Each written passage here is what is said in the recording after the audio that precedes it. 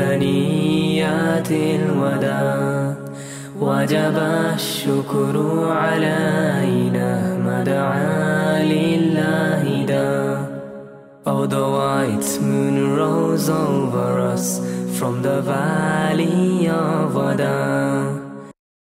I've been asked to uh, describe my uncle uh, in three minutes, and I'll do that in three minutes. But it's it's it's uh, where do you really begin with someone with 60 years of community service, and has uh, and his passion has never been stronger, and still continues today.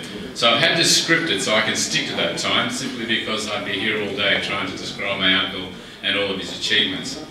My uncle Ibrahim Dellal was the first wave of Turkish Cypriot immigrants that came to Australia in 1950 following my own father who was here in 1948 from Cyprus. My uncle was born in Larnaca in 1932 and the grandson of the last Ottoman Mufti of Cyprus, Sheikh Mehmet Al. He, along with his elder brothers, received good religious education from early childhood, which taught him to have important values such as understanding and respect for all people, regardless of their ethnic, religious or cultural background. I remember, despite my uncle having such a very busy family life, uh, I would see that when I was young, in my teen years, and, and, and even now, along with my aunt and their three daughters, I've never met a man that's devoted so much of his spare time and energy to the community. I've always known him with full of energy and dedication, and really, the one motto we always had was, we must do things for the betterment of the community. I, remember, I don't remember, but I, I know the stories. I suppose I vaguely remember, I was in my teens again, when the bilateral agreements were signed in 1967 that allowed thousands of Turkish immigrants to Australia. My uncle played a major role in helping the Turkish families and workers settled in Australia at the time find jobs, purchase their house. He also helped them establish several Turkish media outlets, gave, um, gave them the opportunity, uh, he also developed news outlets and gave them the opportunity to hear news from their homeland and to have better communications with their community. Because one of the things that he really believed, and he had foresight for, was that the quicker people could settle and integrate into community, they can help others. And therefore, they can also make their contribution to Australia's social, economic and cultural well-being.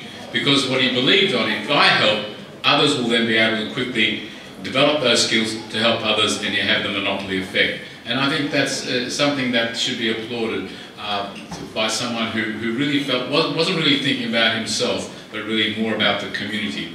He also was very much involved in the contribution to Australia itself. In 1976, he founded numerous halal certificate organisations, which really earned Australia millions and millions of dollars through exporting halal meat to Muslim countries. He played an active role in establishing and running many cultural and educational religious organisations, including the Cyprus Turkish Association, the Islamic Society of Victoria. I remember when I was a child, with the first headquarters in Rathdown Street, along with Sheikh Fahmy there. The Preston Mosque, the Australian Federation of Islamic Societies, the Coburg Mosque, Thomastown Mosque, the Western Thrace Society and Parang Mosque, Australian Federation of Islamic Councils, the Halal Meat Committee, Cypriot Turkish Islamic Society, the Selimia Foundation and the Sunshine Mosque, and that list goes on. As a result of his work in the community, my uncle has had opportunity to meet many influential people, but he's always used them for the betterment of the community and to establish networks for others. He never kept those people to himself. He always made sure that he made great introductions so that others could actually can benefit from those uh, associations and from those meeting those very influential political, religious or community leaders.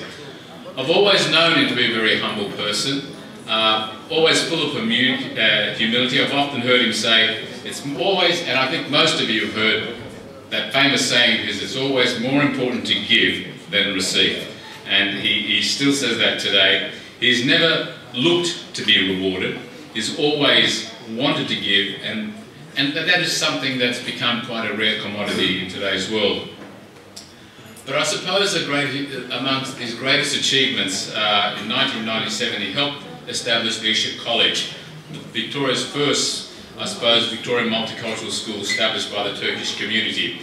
It facil he facilitated its growth uh, by enrolling about 28 students, and in 1997 to over now 2,000 students today, Leadership College has over five campuses, uh, and my uncle has been honoured um, by being one of those campuses being named after him. So he's done outstanding community service work to the community, and of course he has been recognised. He received the Queen Elizabeth Silver Jubilee Medal in recognition, uh, the Order of Australia in 2007 for his services to the Islamic and Turkish communities. But I think one of the greatest highlights was that in 2010, uh, a biography of my uncle was, put, uh, was penned and, and was aptly titled The Struggle of Ibrahim, a biography of an Australian Muslim. According to the author, uh, Monash University lecturer Salih Yücel, the idea for my uncle's biography came after he had travelled with him, uh, I think, uh, to an academic conference in North America. And the author actually states that through our conversation over of this 10-day trip, I discovered that Ibrahim was a living history of Australian Muslim community. He had actually witnessed the growth of the Muslim population and the struggles to settle and integrate into Australia. His memory was weakening, so due to old age, I felt I felt absolutely compelled that I had to put this book together so we didn't lose those experiences. And that's what happens, and we need to value a lot of our elder generations because they have so much history and so much wealth there, and it needs to be recorded because that's how we learn as a community. So, in conclusion, I think um, my uncle has made an enormous contribution. I, I and my family are certainly have been proud of him, and he has always been my mentor and I've tried to emulate all of those values that he has, uh, that he naturally has, and uh, I congratulate him and, and, thank you for everything, Uncle. so if I can call him.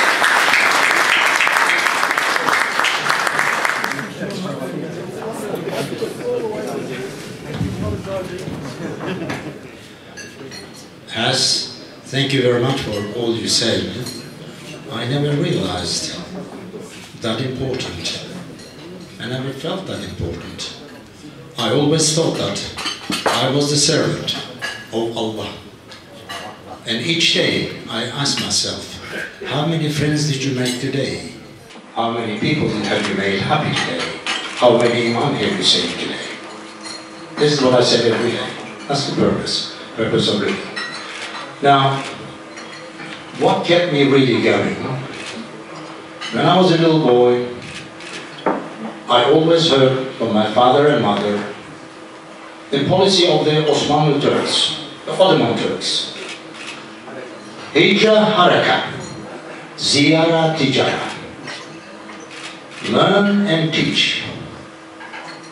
Live, but to see that others live. That's the purpose of living. Right? So I'll translate that into, into English. Migration and action. Visit and trade. Learn and teach. Live, but live to see that others live. That's the purpose of living. You don't live for yourself. Because we consider this life as the garden of heaven. You plant the seeds here, good deeds, for the pleasure of Allah but the fruits are there. And you know that. Life is very short, and time is very limited. And destiny, Qadar, is not known. But we know one thing. We shall depart. We don't know when, we don't know where, we don't know how, but we know we shall depart. When? When the Maker and Master Allah says this word, Spirit, my bird, let's follow the bird. Time is up. Fly back home. Yes. The bird flies back home. The cage stays behind. And the loved one takes the cage and places it where it belongs. They walk back. Some think, some do not think. Who is next? Life in a nutshell. So, if you're a billionaire, what can you do with it? Doesn't belong to us or you're uh, very knowledgeable, or you have a, a positional power. It doesn't belong to us. Given to us in trust for a little while. Big test. What are we doing for?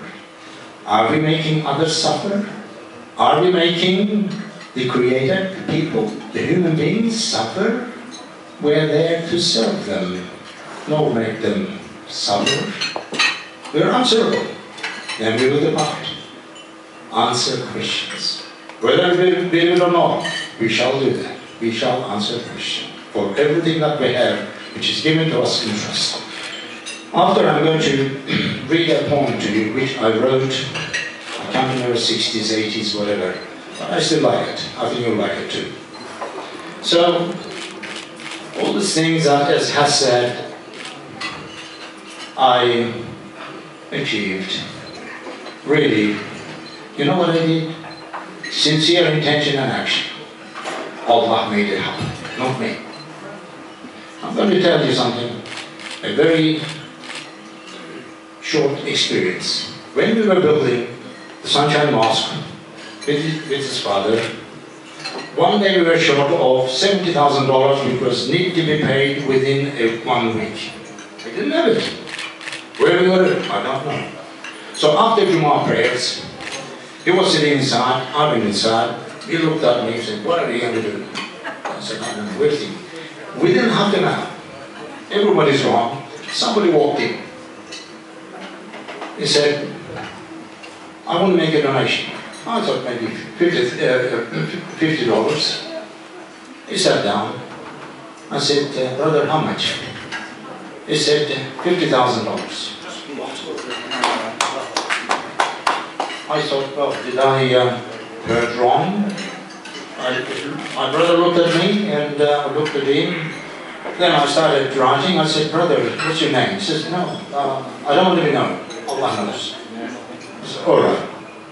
I said, now, what did you say, 50 No, he says $50,000. I'm writing the check.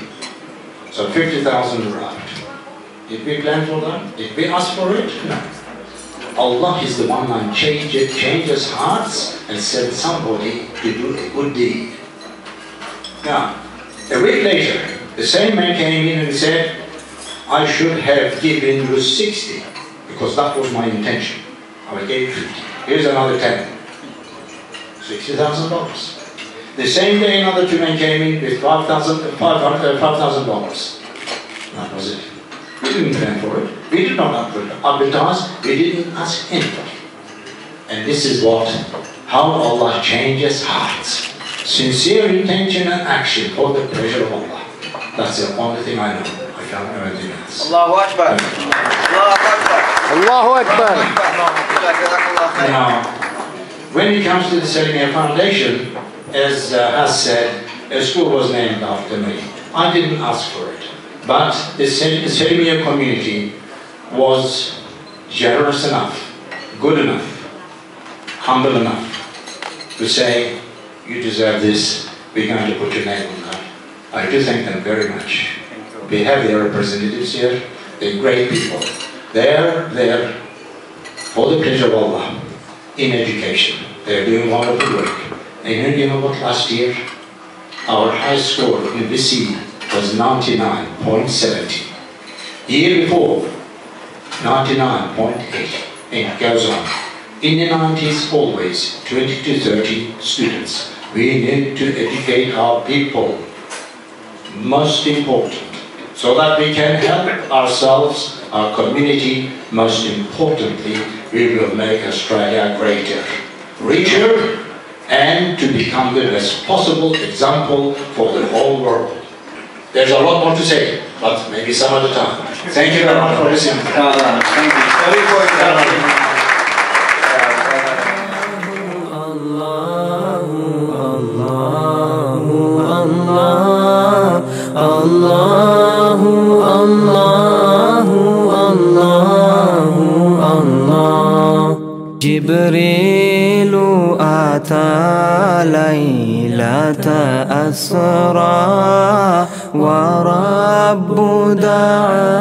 في هدرته الله الله الله.